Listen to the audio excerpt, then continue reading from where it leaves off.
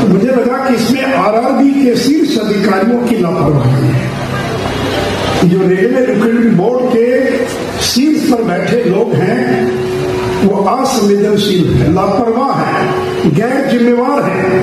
उनको छात्रों के हितों से कोई मतलब नहीं है।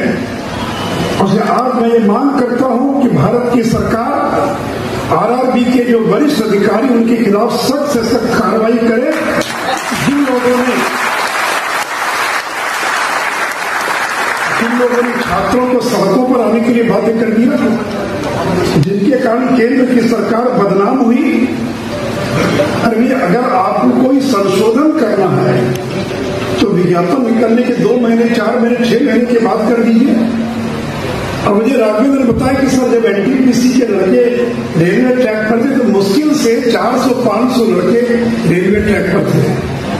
लेकिन 24 जनवरी को 24 को, और 24 जनवरी को 11-12 बजे जैसे ग्रुप डी के का ये आया समाचार ट्विटर पर या सोशल मीडिया पर कि अब एक नहीं, दो परीक्षा होगी तो संख्या बढ़कर दस हज़ार होगी। मित्रों, अगर मैं भी आपकी जगह होता तो मैं भी उसी प्रकार रेलवे ट्रैक पर